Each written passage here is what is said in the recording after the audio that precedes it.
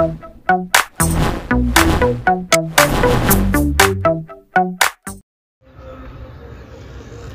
ਸ੍ਰੀ ਅਕਾਲ ਪਿਆਰੇ ਵਿਦਿਆਰਥੀਓ, ਅੱਜ ਦੀ ਸਾਇੰਸ ਦੀ ਕਲਾਸ 'ਚ ਤੁਹਾਡਾ ਸਵਾਗਤ ਹੈ। ਅੱਜ ਅਸੀਂ ਤੁਹਾਨੂੰ ਸੰਤਵੀਂ ਕਲਾਸ ਵਿਗਿਆਨ ਦਾ ਪਾਠ ਨੰਬਰ 9 ਕਰਵਾਵਾਂਗੇ, ਜੋ ਕਿ ਹੈ ਮਿੱਟੀ ਦੇ ਬਾਰੇ, ਮਿੱਟੀ ਸੋਇਲ ਸੋ ਅਭਿਆਸ ਦੇ ਜ਼ਰੂਰੀ ਪ੍ਰਸ਼ਨ ਤੇ ਹੋਰ ਮਹੱਤਵਪੂਰਨ ਪ੍ਰਸ਼ਨ ਜੋ ਤੁਹਾਡੇ ਪੇਪਰ ਦੇ ਵਿੱਚ ਆ ਸਕਦੇ ਆ, ਪੱਕੇ ਪੇਪਰਾਂ 'ਚ ਆ ਸਕਦੇ ਆ, ਇਹ ਤੁਹਾਨੂੰ ਕਾਫੀ ਵੀਡੀਓ ਹੈਲਪਫੁਲ ਰਹੇਗਾ। ਤਾਂ ਬਿਨਾਂ ਦੇਰ ਕੀਤੇ ਵੀਡੀਓ ਸ਼ੁਰੂ ਕਰਦੇ ਹਾਂ। ਪਹਿਲਾ ਤੁਹਾਡੇ ਕੋਲ ਹੈ ਜੀ ਖਾਲੀ ਥਾਵਾਂ। ਇਹਦੇ ਵਿੱਚ ਪਹਿਲਾ ਪ੍ਰਸ਼ਨ ਦੇਖੋ। ਧਰਤੀ ਦੀ ਉੱਪਰਲੀ 30 ਤੋਂ 40 ਸੈਂਟੀਮੀਟਰ ਡੂੰਘੀ ਪਰਤ, ਜਿਸ ਵਿੱਚ ਫਸਲਾਂ ਉੱਗ ਸਕਦੀਆਂ ਹਨ, ਇਹਨੂੰ ਕਹਿੰਦੇ ਆ ਜੀ ਭੂਮੀ ਜਾਂ ਮਿੱਟੀ। ਅੱਗੇ ਪ੍ਰਸ਼ਨ ਹੈ ਜੀ ਤੁਹਾਡਾ ਧਰਤੀ ਦਾ ਕਾਟ ਚਿੱਤਰ। ਮਿੱਟੀ ਦੀਆਂ ਦਰਸਾਉਂਦਾ ਹੈ ਪਰਤਾਂ, ਠੀਕ ਹੈ ਜੀ। ਮਿੱਟੀ ਦਾ ਤੇਜ਼ਾਬੀ ਸੁਭਾਅ ਜਾਂ ਖਾਰੀ ਸੁਭਾਅ ਪੀਐਚ ਪੇਪਰ ਦੀ ਵਰਤੋਂ ਕਰਕੇ ਜਾਣਿਆ ਜਾ ਸਕਦਾ ਹੈ। ਦੇ ਬਰੀਕ ਕਣ ਹੁੰਦੇ ਹਨ ਚੀਕਣੀ ਮਿੱਟੀ ਦੇ ਜੋ ਕਿ ਮਲਮਲ ਦੇ ਕੱਪੜੇ ਵਿੱਚੋਂ ਲੰਘ ਸਕਦੇ ਹਨ। ਮਿੱਟੀ ਦੀ ਪਾਣੀ ਰੋਕਣ ਦੀ ਸਭ ਤੋਂ ਘੱਟ ਸਮਰੱਥਾ ਹੁੰਦੀ ਹੈ ਚੀਕਣੀ ਮਿੱਟੀ। ਮਿੱਟੀ ਫਸਲਾਂ ਉਗਾਉਣ ਲਈ ਸਭ ਤੋਂ ਚੰਗੀ ਹੈ ਦੋਮਟ, ਲੋਮੀ। ਭਾਰਤ ਦੇ ਗੁਜਰਾਤ ਤੇ ਮਹਾਰਾਸ਼ਟਰ ਵਰਗੇ ਪੱਛਮੀ ਰਾਜਾਂ ਵਿੱਚ ਮਿੱਟੀ ਕਾਲੇ ਰੰਗ ਦੀ ਹੈ। ਦੀ ਵਰਤੋਂ ਘੁਮਿਆਰ ਮਿੱਟੀ ਦੇ ਭਾਂਡੇ ਬਣਾਉਣ ਲਈ ਕਰਦੇ ਆ ਚੀਕਣੀ ਮਿੱਟੀ। ਮਿੱਟੀ ਦੀ ਵਰਤੋਂ ਸੀਮਟ ਬਣਾਉਣ ਲਈ ਹੁੰਦੀ ਹੈ ਚੀਕਣੀ ਮਿੱਟੀ ਦੀ। ਇੱਟਾਂ ਦੇ ਨਿਰਮਾਣ ਲਈ ਚੀਕਣੀ ਮਿੱਟੀ ਦੀ ਵਰਤੋਂ ਹੁੰਦੀ ਹੈ ਤਾਂ ਇਹ ਸੀ ਜੀ ਖਾਲੀ ਥਾਵਾਂ। ਉਹਦੇ ਬਾਅਦ ਆ ਗਏ ਜੀ ਸਹੀ ਗਲਤ।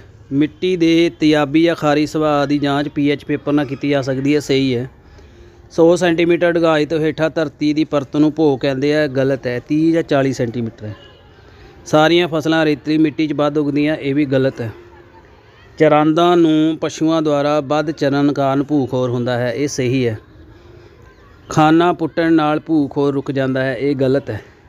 ਚੀਕਣੀ ਮਿੱਟੀ ਵਿੱਚ ਪਾਣੀ ਆਸਾਨੀ ਨਾਲ ਰਿਸ ਸਕਦਾ ਹੈ, ਇਹ ਵੀ ਗਲਤ ਹੈ। ਅੱਗੇ ਹੈ ਜੀ, ਮਿਲਾਨ ਕੋਲਮੂੜਾ ਤੇ ਐੜਾ। ਪਾਣੀ ਆਸਾਨੀ ਨਾਲ ਰਿਸ ਜਾਂਦਾ ਹੈ ਰੇਤਲੀ ਮਿੱਟੀ ਵਿੱਚ। ਇਹ ਮਿੱਟੀ ਕਪਾਹ ਉਗਾਉਣ ਲਈ ਸਭ ਤੋਂ ਵਧੀਆ ਹੈ ਕਾਲੀ ਬਲੈਕ ਸੋਇਲ। ਪੋਲੀਥੀਨ, ਪਲਾਸਟਿਕ ਅਤੇ ਕੀਟਨਾਸ਼ਕਾਂ ਕਾਰਨ ਹੁੰਦਾ ਹੈ ਮਿੱਟੀ ਦਾ ਪ੍ਰਦੂਸ਼ਣ, ਸੋਇਲ ਪੋਲੂਸ਼ਨ ਖਾਨਾ ਪੁੱਟਣ, ਵੱਧ ਚਰਾਣ ਤੇ ਰੁੱਖ ਕੱਟਣ ਨਾਲ ਹੁੰਦਾ ਹੈ ਭੋਖੋਰ, ਸੋਇਲ ਅਰੋਜ਼ਨ। ਇਸ ਮਿੱਟੀ ਦੀ ਵਰਤੋਂ ਸੀਮਟ ਬਣਾਉਣ ਲਈ ਹੁੰਦੀ ਹੈ ਚੀਕਣੀ ਮਿੱਟੀ। ਅੱਗੇ ਆ ਜਾਓ ਜੀ ਬਹੁ ਵਿਕਲਪਿਤ ਐਮਸੀਕਿਊਜ਼ ਸਹੀ ਕਿਰਿਆ ਭੂਖੋਰ ਨਹੀਂ ਹੁੰਦਾ। ਚੈੱਕ ਡੈਮ ਬਣਾਉਣ ਨਾਲ ਭੂਖੋਰ ਨਹੀਂ ਹੁੰਦਾ। ਮਿੱਟੀ ਦਾ ਪ੍ਰਦੂਸ਼ਣ ਹੁੰਦਾ ਹੈ ਕੀਟਨਾਸ਼ਕ ਅਤੇ ਰਸਾਇਣਿਕ ਖਾਦਾਂ ਨਾਲ। ਮਿੱਟੀ ਦੀ ਵਰਤੋਂ ਨਹੀਂ ਹੁੰਦੀ ਕੀਟਨਾਸ਼ਕ ਬਣਾਉਣ ਲਈ। ਭੂਖੋਰ ਰੁਕਦਾ ਹੈ ਰੁੱਖ ਲਗਾਉਣ ਨਾਲ। ਮਿੱਟੀ ਦੀ ਵਰਤੋਂ ਹੁੰਦੀ ਹੈ ਸੀਮਟ ਬਣਾਉਣ ਲਈ, ਬੰਨ ਬਣਾਉਣ ਲਈ, ਫਸਲਾਂ ਉਗਾਉਣ ਲਈ, ਇਹਨਾਂ ਸਾਰਿਆਂ ਲਈ। ਇਹਦਾ ਉੱਤਰ ਹੈ ਜੀ ਇਹਨਾਂ ਸਾਰਿਆਂ ਲਈ ਸੱਸਾ। ਮੱਲਰ ਕੀ ਹੁੰਦਾ ਹੈ? ਬਹੁਤ ਛੋਟੇ ਉੱਤਰਾਂ ਵਾਲੇ ਪ੍ਰਸ਼ਨ। ਪੌਦਿਆਂ ਦੇ ਮ੍ਰਿਤ ਅਤੇ ਗਲੇ ਸੜੇ ਪੱਤੇ ਜਾਂ ਪੌਦੇ ਕੀਟ ਜਾਂ ਮ੍ਰਿਤ ਜੰਤੂਆਂ ਦੇ ਮਿੱਟੀ ਵਿੱਚ ਦੱਬੇ ਸਰੀਰ ਪਸ਼ੂਆਂ ਦਾ ਗੋਬਰ ਵਾਲੀ ਮੱਲੜ ਬਣਾਉਂਦੇ ਆ। ਮਿੱਟੀ ਦੇ ਕਾਰਬਨਿਕ ਘਟਨਾ ਦੇ ਨਾਮ ਪੌਦਿਆਂ ਦੇ ਮ੍ਰਿਤ ਤੇ ਗਲੇ ਸੜੇ ਪੱਤੇ, ਜੰਤੂਆਂ ਦੇ ਮ੍ਰਿਤ ਸਰੀਰ ਪਸ਼ੂਆਂ ਦਾ ਗੋਬਰ। ਤੀਜਾ ਪ੍ਰਸ਼ਨ ਮਿੱਟੀ ਦੇ ਅਕਾਰਬਿਕ ਘਟਕ, ਅਕਾਰਬਿਕ ਘਟਨ ਯਾਨੀ ਆ ਗਏ ਤੁਹਾਡੇ ਏਬਾਇਟਿਕ ਰੇਤ, ਕੰਕਰ, ਚੀਕਣੀ ਮਿੱਟੀ, ਖਣਿਜ ਪਦਾਰਥ। ਦੋਮਟ ਮਿੱਟੀ ਕੀ ਹੁੰਦੀ ਹੈ? ਅਜਿਹੀ ਮਿੱਟੀ ਜਿਸ ਦੇ ਕਣਾਂ ਦਾ ਆਕਾਰ, ਰੇਤਲੀ ਤੇ ਚੀਕਣੀ ਮਿੱਟੀ ਦੇ ਕਣਾਂ ਦੇ ਵਿਚਕਾਰ ਹੁੰਦਾ ਹੈ। ਇਹ ਫਸਲਾਂ ਲਈ ਸਭ ਤੋਂ ਵਧੀਆ ਹੈ। ਭੂਖੋਰ ਕੀ ਹੁੰਦਾ ਹੈ? ਤੇਜ਼ ਹਨੇਰੀਆਂ, ਤੇਜ਼ ਮੀਂਹ, ਹੜ੍ਹਾਂ ਜਾਂ ਹੋਰ ਕਾਰਨਾਂ ਕਾਰਨ ਮਿੱਟੀ ਦੀ ਉੱਪਰਲੀ ਪਰਤ ਨਸ਼ਟ ਹੋ ਜਾਂਦੀ ਹੈ। ਇਹਨੂੰ ਭੂਖੋਰ ਕਹਿੰਦੇ ਆ ਸੋਇਲ ਅਰੋਜ਼ਨ ਮਿੱਟੀ ਦਾ ਖਾਖਾ ਕੀ ਹੈ? ਮਿੱਟੀ ਦੀਆਂ ਵੱਖ-ਵੱਖ ਤਹਿਾਂ ਵਿੱਚੋਂ ਲੰਘਦੀ ਲੇਟਵੇਂ ਦਾ ਕਾਟ ਮਿੱਟੀ ਦਾ ਖਾਖਾ ਕਹਿੰਦੇ ਯਾਨੀ ਜਦੋਂ ਮਿੱਟੀ ਨੂੰ ਲੰਬੇ ਦਾ ਨੂੰ ਕੱਟੀਏ ਤਾਂ ਉਹਦੀਆਂ ਅਲੱਗ-ਅਲੱਗ ਪਰਤਾਂ ਨਜ਼ਰ ਆਉਂਦੀਆਂ ਇਹਨੂੰ ਖਾਕਾਂ ਜਾਂ ਪ੍ਰੋਫਾਈਲ ਕਹਿੰਦੇ ਆ। ਮਿੱਟੀ ਦੇ ਖਾਕੇ ਦੀਆਂ ਪਰਤਾਂ ਹਨ। ਪਹਿਲੇ ਆਂਦਾ ਜੀ ਮੱਲੜ ਸਭ ਤੋਂ ਉੱਪਰ ਹਿਊਮਸ ਜਿਹਨੂੰ ਕਹਿੰਦੇ ਆ। ਉਹਦੇ ਬਾਅਦ ਆ ਗਿਆ ਜੀ ਉੱਪਰਲੀ ਮਿੱਟੀ, ਹੇਠਲੀ ਮਿੱਟੀ, ਚਟਾਨੀ ਟੁਕੜੇ ਤੇ ਪਥਰੀਲੇ ਠੋਸ ਤਲ। ਮਿੱਟੀ ਦੀਆਂ ਖਾਖਾਂ ਦਾ ਚਿੱਤਰ ਹੈ, ਤੁਸੀਂ ਦੇਖ ਸਕਦੇ ਹੋ। ਸਭ ਤੋਂ ਨੀਚੇ ਪੱਥਰ ਹੈ। ਫਿਰ ਚਟਾਨਾਂ ਦੇ ਛੋਟੇ ਗ੍ਰੈਵਲ ਹੈ। ਫਿਰ ਹੇਠਲੀ ਮਿੱਟੀ, ਉੱਪਰਲੀ ਮਿੱਟੀ ਤੇ ਉੱਪਰ ਮੱਲੜ ਆ ਗਿਆ। ਇਹਨੂੰ ਲਿਟਰ ਵੀ ਕਹਿ ਦਿੰਦੇ ਆ। ਮਿੱਟੀ ਪ੍ਰਦੂਸ਼ਿਤ ਕਿਵੇਂ ਹੁੰਦੀ ਹੈ? ਮਿੱਟੀ ਦਾ ਪ੍ਰਦੂਸ਼ਣ ਮਿੱਟੀ ਵਿੱਚ ਬੇਲੋੜੇ ਤੇ ਹਾਨੀਕਾਰਕ ਵਸਤੂਆਂ ਜਦੋਂ ਸ਼ਾਮਲ ਹੋ ਜਾਂਦੀਆਂ, ਤੇ ਮਿੱਟੀ ਦਾ ਪ੍ਰਦੂਸ਼ਣ ਹੁੰਦਾ ਹੈ।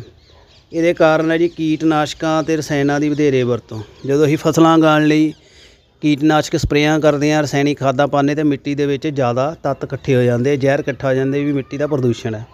ਉਦਯੋਗਾਂ ਦਾ ਵੇਸਟ ਜੋ ਇੰਡਸਟਰੀਅਲ ਵੇਸਟ ਹੈ, ਇਹਦੇ ਵਿੱਚ ਗੰਦਾ ਪਾਣੀ, ਕਚਰਾ, ਜ਼ਹਿਰੀਲੇ ਪਦਾਰਥ ਮਿੱਟੀ 'ਚ ਛੱਡ ਦਿੱਤੇ ਜਾਂਦੇ ਆ। ਪੋਲੀਥੀਨ ਤੇ ਪਲਾਸਟਿਕ ਕਚਰਾ ਕਿਉਂਕਿ ਪੋਲੀਥੀਨ ਜੋ ਹੈ, ਜੈਵ ਅਵਘਟਨਸ਼ੀਲ ਹੈ। ਆਪਣੇ ਆਪ ਇਹ ਗਲਦਾ ਨਹੀਂ ਹੈ, ਇਸ ਲਈ ਇਹ ਪ੍ਰਦੂਸ਼ਣ ਕਰਦਾ ਹੈ। ਸਾਨੂੰ ਬਾਂਸ ਦੇ ਪੌਦੇ ਵਧੇਰੇ ਕਿਉਂ ਲਗਾਉਣੇ ਚਾਹੀਦੇ ਆ ਪਹਾੜੀ ਅਤੇ ਅਰਧ ਪਹਾੜੀ ਖੇਤਰਾਂ ਵਿੱਚ ਪਸ਼ੂਆਂ ਨੂੰ ਘਾਹ ਚਰਾਉਣ ਦੀ ਲੋੜ ਹੁੰਦੀ ਹੈ। ਚਰਾਂਦਾ ਨੂੰ ਪਸ਼ੂ ਬਾਰ-ਬਾਰ ਚਰਾਉਂਦੇ ਹਨ, ਇਸ ਲਈ ਸਿੱਟੇ ਵਜੋਂ ਮਿੱਟੀ ਦੀ ਉੱਪਰਲੀ ਪਰਤ ਨੰਗੀ ਤੇ ਪੋਲੀ ਹੋ ਜਾਂਦੀ ਹੈ। ਇਸ ਕਰਕੇ ਮਿੱਟੀ ਛੇਤੀ ਖੁਰ ਜਾਂਦੀ ਹੈ। ਭੂਖੋਰ ਨੂੰ ਰੋਕਣ ਲਈ ਬਾਂਸ ਦੇ ਪੌਦੇ ਮਦਦਗਾਰ ਹਨ।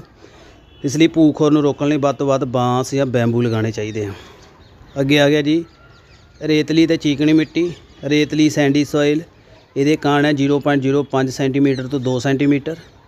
ਇਸ ਵਿੱਚ ਹਿਊਮਸ ਨਹੀਂ ਹੁੰਦਾ, ਇਸ ਦੇ ਕਣਾਂ ਵਿੱਚ ਖਾਲੀ ਥਾਂ ਹੁੰਦਾ ਹੈ। ਇਸ ਦਾ ਪਾਣੀ ਦਾ ਅੰਤਰ ਰਿਸਾਅ ਹੁੰਦਾ ਹੈ। ਇਸ ਦੇ ਖਿਡੌਣੇ, ਬਰਤਨ ਤੇ ਮੂਰਤੀਆਂ ਨਹੀਂ ਬਣਦੇ, ਇਹ ਚਿਪਚਿਪੀ ਨਹੀਂ ਹੁੰਦੀ। ਚੀਕਣੀ ਮਿੱਟੀ 0.005 ਸੈਂਟੀਮੀਟਰ ਤੋਂ ਘੱਟ ਸਾਈਜ਼ ਹਿਊਮਸ ਇਸ ਵਿੱਚ ਹੁੰਦਾ ਹੈ। ਇਸ ਦੇ ਕਣਾਂ ਵਿੱਚ ਕੋਈ ਖਾਲੀ ਥਾਂ ਨਹੀਂ ਹੁੰਦਾ, ਪਾਣੀ ਦਾ ਅੰਤਰ ਰਿਸਾਅ ਨਹੀਂ ਹੁੰਦਾ। ਇਸ ਦੀ ਵਰਤੋਂ ਖਿਡੌਣੇ, ਬਰਤਨ ਅਤੇ ਮੂਰਤੀਆਂ ਬਣਾਉਣ 'ਚ ਹੁੰਦੀ ਹੈ। ਇਹ ਚਿਪਚਿਪੀ ਹੁੰਦੀ ਹੈ। ਅੱਗੇ ਆ ਗਿਆ ਜੀ, ਚੈੱਕ ਡੈਮ ਕੀ ਹੁੰਦਾ ਹੈ? ਪਹਾੜੀ ਖੇਤਰਾਂ ਵਿੱਚ ਖੱਡਾਂ ਤੇ ਨਾਲਿਆਂ ਦੇ ਅਸਥਾਈ ਜਾਂ ਛੋਟੇ-ਛੋਟੇ ਡੈਮ ਬਣਾਏ ਜਾਂਦੇ ਤਾਂ ਜੋ ਤੇਜ਼ ਗਤੀ ਦੇ ਪਾਣੀ ਨੂੰ ਰੋਕ ਕੇ ਸਿੰਚਾਈ ਲਈ ਵਰਤਿਆ ਜਾਵੇ। ਅਜਿਹਾ ਕਰਨ ਨਾਲ ਭੂਖੋ ਰੋਕਿਆ ਜਾਂਦਾ ਹੈ ਤੇ ਜਿਸ ਕਰਕੇ ਭੂਮੀ ਦੀ ਉਪਜਾਊ ਸ਼ਕਤੀ ਕਾਇਮ ਰਹਿੰਦੀ ਹੈ। ਇਸ ਤੋਂ ਛੋਟ ਮਾਨਸੂਨ ਦੌਰਾਨ ਪਾਣੀ ਨੂੰ ਰੋਕ ਕੇ ਬਿਨਾਂ ਵਰਖਾ ਵਾਲੇ ਦਿਨਾਂ ਵਾਸਤੇ ਸਿੰਚਾਈ ਲਈ ਇਕੱਠਾ ਕੀਤਾ ਜਾ ਸਕਦਾ ਹੈ। ਇਸ ਲਈ ਇਹ ਚੈੱਕ ਡੈਮ ਬਣਾਏ ਜਾਂਦੇ ਆ। ਵੱਡੇ ਉਤਰਾਂ ਵਾਲੇ ਪ੍ਰਸ਼ਨ ਭੂਮੀ ਦਾ ਨਿਰਮਾਣ ਕਿਵੇਂ ਹੁੰਦਾ ਹੈ? ਕਈ ਸਾਲ ਪਹਿਲਾਂ ਧਰਤੀ ਸਖਤ ਤੇ ਪਥਰੀਲੀ ਸੀ। ਸਮਾਂ ਲੰਘਣ ਨਾਲ ਵਿਦਿਆਰਥੀਓ ਭੁਚਾਲ ਆਏ ਅਰਥਕਵਿਕ ਚਟਾਨਾਂ ਛੋਟੇ-ਛੋਟੇ ਪੱਥਰਾਂ ਵਿੱਚ ਟੁੱਟ ਗਈਆਂ। ਜਵਾਲਾਮੁਖੀ ਦੇ ਫਟਣ ਨਾਲ ਚਟਾਨਾਂ ਦੇ ਟੁਕੜੇ ਹੋ ਗਏ। ਚਟਾਨਾਂ ਵਿੱਚ ਪਾਣੀ ਦੇ ਜੰਮਣ ਨਾਲ ਦਰਾਰਾਂ ਪੈ ਗਈਆਂ। ਇਸ ਨਾਲ ਚਟਾਨਾਂ ਨੂੰ ਤੋੜਨ ਵਿੱਚ ਸਹਾਇਤਾ ਮਿਲੀ। ਵਰਖਾ ਦੇ ਨਦੀਆਂ ਦੇ ਪਾਣੀ ਦੇ ਇਹਨਾਂ ਛੋਟੇ-ਛੋਟੇ ਕਣਾਂ ਨੂੰ ਹੋਰ ਬਰੀਕ ਕਣਾਂ ਵਿੱਚ ਪਰਿਵਰਤਿਤ ਕਰ ਦਿੱਤਾ ਅਤੇ ਨਾਲ ਦੂਰ ਬਹਾ ਲਏ ਇਸ ਨਾਲ ਮਿੱਟੀ ਦਾ ਨਿਰਮਾਣ ਹੋਇਆ। ਭੂ-ਖੋਰ ਲਈ ਜ਼ਿੰਮੇਵਾਰ ਕਾਰਕ ਹੜ੍ਹ ਜਦੋਂ ਤੇਜ਼ ਬਾਰਿਸ਼ ਹੁੰਦੀ ਹੈ ਹੜ੍ਹ ਆਉਂਦੇ ਤਾਂ ਮਿੱਟੀ ਬਹਿ ਜਾਂਦੀ ਹੈ। ਹਨੇਰੀ ਤੇ ਤੂਫਾਨ ਨਾਲ ਵੀ ਮਿੱਟੀ ਦੀ ਉੱਪਰਲੀ ਪਰਤ ਨਸ਼ਟ ਹੋ ਜਾਂਦੀ ਹੈ। ਜੰਗਲਾਂ ਦੀ ਕਟਾਈ ਨਾਲ ਜੜ੍ਹਾਂ ਜੋ ਹੈ ਖਤਮ ਹੋ ਜਾਂਦੀ ਹੈ ਪੌਦਿਆਂ ਦੀ ਤੇ ਮਿੱਟੀ ਦੀ ਪਕੜ ਕਮਜ਼ੋਰ ਹੋ ਜਾਂਦੀ ਹੈ। ਘਾਹ ਚਰਾਉਣ ਦੇ ਨਾਲ ਵੀ ਜੋ ਮਿੱਟੀ ਦੇ ਵਿੱਚ ਘਾਹ ਦੀਆਂ ਜੜ੍ਹਾਂ ਹੁੰਦੀਆਂ ਨੇ, ਜੋ ਮਿੱਟੀ ਨੂੰ ਸੰਭਾਲ ਕੇ ਰੱਖਦੀਆਂ, ਖਤਮ ਹੋਣ ਨਾਲ ਮਿੱਟੀ ਖੁਰਦੀ ਹੈ। ਖਾਨਾ ਪੁੱਟਣ ਨਾਲ ਮਾਈਨਿੰਗ ਨਾਲ ਵੀ ਮਿੱਟੀ ਜੋ ਹੈ ਨਸ਼ਟ ਹੋ ਜਾਂਦੀ ਹੈ।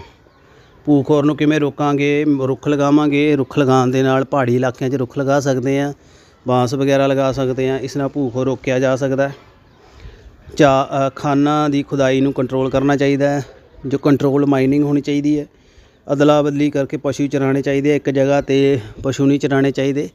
ਉਹਨਾਂ ਨੂੰ ਅਲੱਗ-ਅਲੱਗ ਤਰ੍ਹਾਂ ਦਾ ਚਾਰਾ ਦੇਣਾ ਚਾਹੀਦਾ ਹੈ, ਚੈੱਕ ਡੈਮ ਬਣਾਉਣੇ ਚਾਹੀਦੇ ਆ, ਖੱਡਾਂ ਨਾਲਿਆਂ ਵਿੱਚ ਚੈੱਕ ਡੈਮ ਬਣਾਉਣੇ ਚਾਹੀਦੇ, ਇਸ ਨਾਲ ਭੂਖੋਰ ਰੁਕ ਜਾਂਦਾ ਹੈ। ਕਣਾਂ ਦੇ ਆਧਾਰ ਤੇ ਮਿੱਟੀ ਦਾ ਵਰਗੀਕਰਨ, ਪਹਿਲੀ ਹੈ ਚੀਕਣੀ ਮਿੱਟੀ, ਫਿਰ ਰੇਤਲੀ, ਪਥਰੀਲੀ ਤੇ ਡੋਮਟ। ਚੀਕਣੀ ਮਿੱਟੀ ਦੇ ਕਣ ਸਭ ਤੋਂ ਬਰੀਕ ਹੁੰਦੇ ਆ, ਧੂੜ, ਡਸਟ ਵਰਗੇ ਹੁੰਦੇ ਆ। ਚੀਕਣੀ ਮਿੱਟੀ ਖਵਾਉਂਦੀ ਹੈ, ਇਸ ਵਿੱਚ ਮਲਮਲ ਦੇ ਕੱਪੜੇ ਵਿੱਚੋਂ ਲੰਘ ਜਾਂਦੀ ਹੈ, ਜਿਹਨੂੰ ਮਸਲੀਨ ਕਲੋਥ ਕਹਿੰਦੇ ਆ। ਅਜਿਹੀ ਮਿੱਟੀ ਦੀ ਵਰਤੋਂ ਮਿੱਟੀ ਦੇ ਘੜੇ ਤੇ ਚੀਨੀ ਦੇ ਬਰਤਨ ਬਣਾਉਣ ਲਈ ਹੁੰਦੀ ਹੈ। ਪਾਣੀ ਪਾਉਣ ਨਾਲ ਚਿੱਕੜ ਵਿੱਚ ਬਦਲ ਜਾਂਦੀ ਹੈ ਅਤੇ ਸੁੱਕਣ ਤੇ ਸਖਤ ਹੋ ਜਾਂਦੀ ਹੈ। ਰੇਤਲੀ ਮਿੱਟੀ ਦੇ ਕਣ ਚੀਕਣੀ ਮਿੱਟੀ ਤੋਂ ਵੱਡੇ ਹੁੰਦੇ ਹੈ ਇਹ ਮਲਮਲ ਦੇ ਕੱਪੜੇ 'ਚੋਂ ਨਹੀਂ ਲੰਘਦੇ। ਰੇਗਿਸਤਾਨ ਦੇ ਵਿੱਚ ਰੇਤਲੀ ਮਿੱਟੀ ਮਿਲਦੀ ਹੈ। ਇਹਦੇ ਵਿੱਚ ਪਾਣੀ ਜੋ ਹੈ ਖੜਾ ਨਹੀਂ ਰਹਿ ਸਕਦਾ। ਪਥਰੀਲੀ ਮਿੱਟੀ ਜੋ ਹੈ ਇਹਦੇ ਕਣ ਵੱਡੇ ਹੁੰਦੇ ਆ। ਇਹਨਾਂ ਨੂੰ ਹੱਥਾਂ ਨਾਲ ਚੁਣਿਆ ਜਾ ਸਕਦਾ ਹੈ। ਛਾਨਣੀ ਵਿੱਚੋਂ ਨਹੀਂ ਲੰਘਦੇ। ਦੋਮਨ ਮਿੱਟੀ ਦੇ ਕਣ ਰੇਤਲੀ ਤੇ ਚੀਕਣੀ ਮਿੱਟੀ ਦੇ ਵਿਚਕਾਰ ਹੁੰਦੇ ਆ। ਤੇ ਫਸਲਾਂ ਲਈ ਸਭ ਤੋਂ ਵੱਡੀ, ਵਧੀਆ ਮਿੱਟੀ ਹੈ ਦੋਮਟ, ਜਿਹਨੂੰ ਅਸੀਂ ਕੀ ਕਹਿੰਦੇ ਆ? ਲੋਮੀ। ਮਿੱਟੀ ਕੀ ਹੈ? ਧਰਤੀ ਦੀ ਸਭ ਤੋਂ ਉੱਪਰਲੀ ਪਰਤ ਨੂੰ ਮਿੱਟੀ ਕਹਿੰਦੇ ਆ। ਕੀ ਮਿੱਟੀ ਦੇ ਸਾਰੇ ਕਣਾਂ ਦਾ ਮਾਪ ਇੱਕੋ ਜਿਹਾ ਹੁੰਦਾ? ਨਹੀਂ। ਸਾਰੇ ਕਣਾਂ ਦਾ ਮਾਪ ਇੱਕੋ ਜਿਹਾ ਨਹੀਂ ਹੁੰਦਾ। ਇੱਥੋਂ ਤੱਕ ਕਿ ਰੰਗ ਤੇ ਆਕਾਰ ਵੀ ਵੱਖ-ਵੱਖ ਹੁੰਦਾ ਹੈ। ਭੂਮੀ ਦੀਆਂ ਪਰਤਾਂ ਨੂੰ ਕਿਸ ਤਰ੍ਹਾਂ ਵੰਡਿਆ ਜਾਂਦਾ ਹੈ? ਮਿੱਟੀ ਦੀ ਛੂ, ਰੰਗ, ਡੂੰਘਾਈ ਤੇ ਰਸਾਇਣਿਕ ਬਣਤਰ ਦੇ ਆਧਾਰ ਤੇ।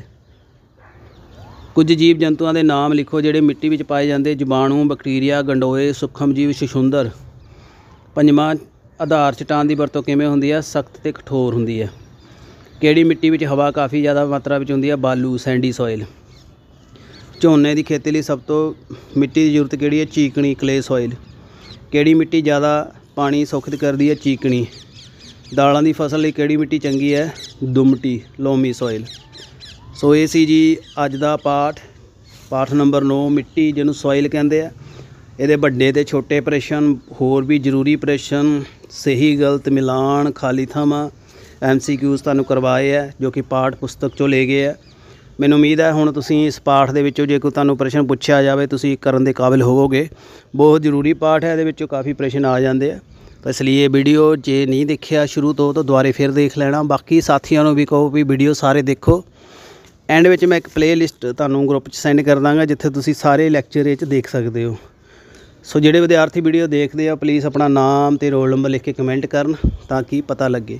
ਸੋ ਜਿਹੜੇ ਵਿਦਿਆਰਥੀ ਹੋਰ ਕਿਸੇ ਸਕੂਲ ਦੇ ਵੀ ਵੀਡੀਓ ਦੇਖਦੇ ਆ ਕਲਾਸ ਜੁਆਇਨ ਕਰਦੇ ਆਪਣੇ ਸਕੂਲ ਦਾ ਨਾਮ ਕਲਾਸ ਦੇ ਰੋਲ ਨੰਬਰ ਵੀ ਜ਼ਰੂਰ ਮੈਂਸ਼ਨ ਕਰਨ। ਧੰਨਵਾਦ ਸਾਰਿਆਂ ਨੂੰ ਮੇਰੇ ਵੱਲੋਂ ਪੱਕੇ ਪੇਪਰਾਂ ਲਈ ਬਹੁਤ ਬਹੁਤ ਸ਼ੁਭਕਾਮਨਾਵਾਂ